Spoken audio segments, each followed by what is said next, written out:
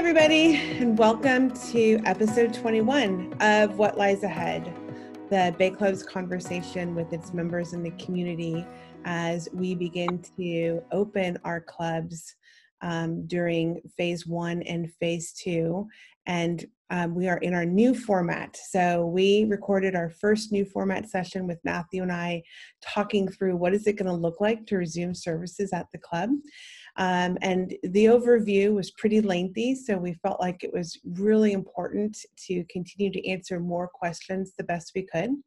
What you're going to find the rest of this week is that we are going to dive into specific areas of the business and give a detailed um, letter and question answer session to the members. And the first one that we're very excited to do is golf.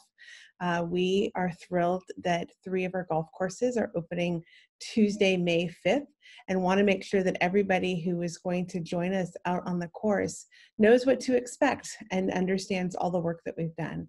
So, with that, I'm going to review the note that we're going to be sending to the members, and Matthew and I will have an opportunity to kind of give some more information than we even have put into the letter. So, let's get started. Welcome back, members. As a first step towards resuming services across our clubs, we are thrilled to welcome members back to our three golf courses, with tee times available beginning Tuesday, May 5th, 2020. Over the past several weeks, we've been working closely with state and local leaders to define protocols for physical distancing and sanitization to keep our members and associates safe and healthy. We've also used this time to get our clubs ready for the summer season, and our courses have never looked better. Given all the changes at our clubs during the last seven weeks, we'd like to share the below as an overview of what to expect once you arrive at the club. Health and safety. For an outline of all policies and procedures we've implemented to allow for social distancing, Please take a minute to review the Resuming Operations, the New Normal document. In addition, please plan to bring a mask to the course to comply with local, state, or federal guidelines, which may require you to wear a mask in certain areas on property. Tee times and driving range. We are now accepting golf reservations for tee times and driving range sessions, and we will be adjusting golf reservations accordingly. Sapphire seven days in advance, Diamond five days in advance, and Platinum three days in advance. Please note, as services have been suspended for 45 days, the demand to get out on the course is very high. Please be mindful of this and consider limiting the number of rounds you sign up to play during these first 30 days. If you are unable to secure tee time online within your booking window, please send an email to golf at bayclubs.com with your desired time slot. A member of our team will make every effort to find a spot for you within 60 minutes of your requested time slot. Baz, I think I'm going to stop there because I know a lot of people have had quite a few questions, especially about tee times and reservations. So why don't I hand it to you? Sure. Give me the tough ones, AA. All right. welcome back. So, first of all, welcome back, everybody. And uh, we appreciate the patience while everybody has properly uh, abided by the stay at home requirements from local, state, and federal authorities. And we are excited to start to turn the lights back on piece by piece. And as we expected, the first piece that we'll be allowed to do is golf. So, as Annie said, Tuesday, May 5th is our first day. Uh, we already have a number of days booked in the tee system, uh, T, tee sheet reservation system, with great excitement and demand from the membership base. I think the thing we want to talk about, Annie, is is to sort of let everybody. We're, we're gonna we're gonna need to ask everybody to just take a deep breath while we get back up and running. Um, one, we have certain restrictions we need to comply with and we will have all of the health and safety components in place. With the system is just not built for every single member to be able to play on one given day.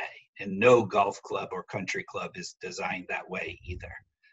And given that everybody's been sitting on the sidelines, we've already gotten a number of, of comments from people saying, hey, I couldn't get a tee time. How are you guys going to monitor this process to help me out? So here's a couple of tips. First of all, no question about it, we have some overeager members who have booked like seven days in a row that they want to have, they want to play golf.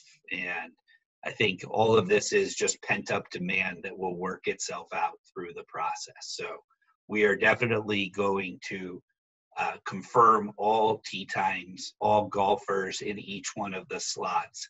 And we will do our best to free up slots that are not going to be used in advance of the day, where we can then get people into those slots. Second is uh, we have created a, an email address called golf at bayclubs.com to just make it simple for you. If you go online and you can't get what you were thinking, or simply send us an email. We only have three courses, so it's pretty easy for us to monitor. And our team will get back to you and work on trying to get a slot for you. Hopefully, we can do it in advance of the day. But even if we don't, we'll give you guidance on whether or not we think it would make sense for you to come over to the club around your time slot because we have we have a limited number of people that we're working on that slot if that doesn't work for people we are going to allow members to stay at a zero dues level. Uh, no they can go beyond a leave of absence fee down to zero dues. Um, while this sort of work demand works itself out over the first 30 to 45 days. At the end of the day we're going to do our best to help everybody slowly come back up to speed and be able to get out and enjoy the great courses. We know not everybody's going to be able to be in a perfect spot and get exactly what they want. And our team will work unbelievably hard to try to accommodate everybody's request as part of that process. So, in advance, we thank you for your patience. We thank people for being thoughtful of everybody that does want to get onto the course and we're excited to see everybody back. Granted, we will have some new normals that we'll be working with to make sure that all of the health and safety components are in place. But you're going to be, as Annie said, the courses have been are in amazing condition. We got all the aerations done on each one of the courses. We were able to aerate fairways, roughs, and greens. Courses are in immaculate condition. The weather is fantastic. So we're excited to welcome people out and we are going to work immensely hard to try to accommodate all of the, requests that we have for people wanting to play golf. So thank you. Great. Okay, let's talk a little bit about what it'll be like once you get to the club. So, arrival. During this initial opening phase, members will be required to handle their own bags in accordance with local health department guidelines. Please note, members in San Diego will be required to undergo a temperature check at arrival, showing their core temperature is below 100.4 before entering the club facilities. Walking or carts.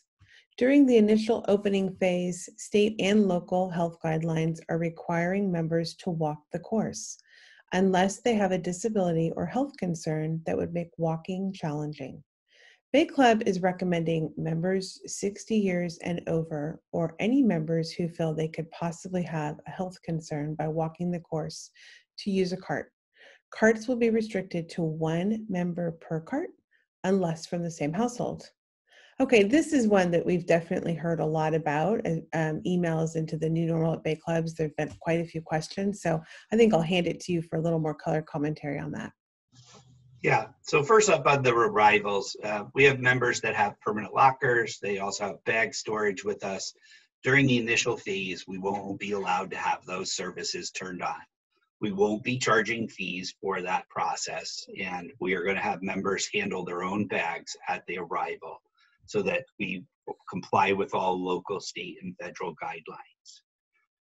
Um, for right now, there is a requirement as you uh, show up in San Diego that as you arrive by car, you'll be asked to do a temperature check to make sure your temperature is below 100.4, which is one of the CDC guidelines for the county of San Diego that we've been asked to comply with.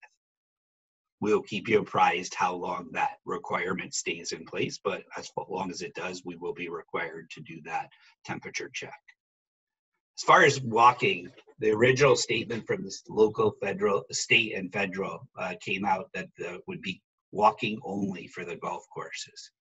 There was a discussion between all three groups regarding whether or not that was in compliance with ADA requirements. And so there's been a slight twist to this that allows for a disability environment. And so the, it's an undefined disability, but what we've basically said is we don't want anybody walking the course that feels that that would be a hardship. We're recommending that if you're 60 years and over, take a cart. And if for any reason you feel like you would your health would be at risk if you had to walk the course, we're asking you to take a cart. Carts will be restricted to one person unless two both people are from the same household. So we will we only have certain inventories of carts, and this really puts a strain on that. But we will work our way through that as we manage the tee sheet.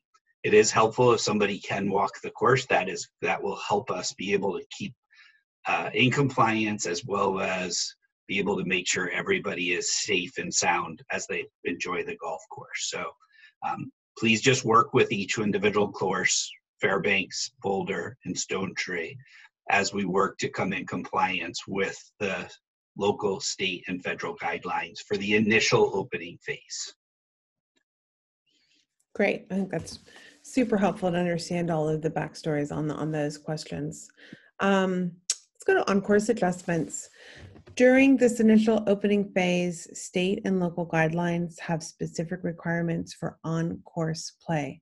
Please do not touch the flagsticks, keep proper social distancing. Rakes will be removed from bunkers and all green cups will be inverted, eliminating the need to reach into the cup. Food and beverage offerings will be limited during this time to prepackaged snacks and beverages. Both non-alcoholic and alcoholic options, including beer and wine, will be available. We are thrilled to welcome you back to the club and we look forward to serving you. We anticipate additional services like tennis and aquatics will be approved to resume in the weeks ahead, and we will keep you updated as these activities become approved. Please look for the most recent communication updates in the Daily Bay and at bayclubs.com. For questions about membership and billing, please contact our member experience team through the Bay Club Connect app on your smartphone or by visiting bayclubconnect.com. Thank you for your patience and welcome back to the Bay Club. So there we have it. So when we get back on the course, there's going to be some minor adjustments that everybody's got to be ready for. Flag sticks will stay in the hole. We will have an inverted cup so that if your ball hits the inverted cup, it's considered a hole putt. Uh, we will not have rakes in the bunkers as per local, state, and federal guidelines. And we'll, as we talked before about carts, there'll only be one person per cart, and they're out there to allow people who may have a disability not being able to walk the entire golf course from that perspective. We will keep everybody posted as things adjust. This is initial opening phase, and we're very comfortable that this still creates an amazing golf experience for everybody. The courses are in great condition. The weather is fantastic. We're excited to welcome everybody back and just be patient with every uh, we're, we're asking everybody to be patient as we all work through the new normal but the good news is we're thrilled to have everybody back let's have some fun let's hit some golf balls let's enjoy some beautiful weather and uh, we'll hopefully get more and more pieces of our puzzle back up and operating as sooner versus later.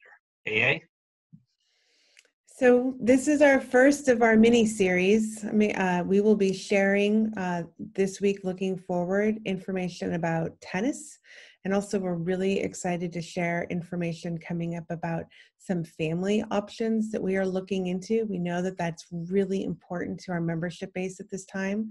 So thank you, as always, for being with us, for writing to us, and for helping us get back open. We are looking forward to seeing everybody at the club. Have a great day.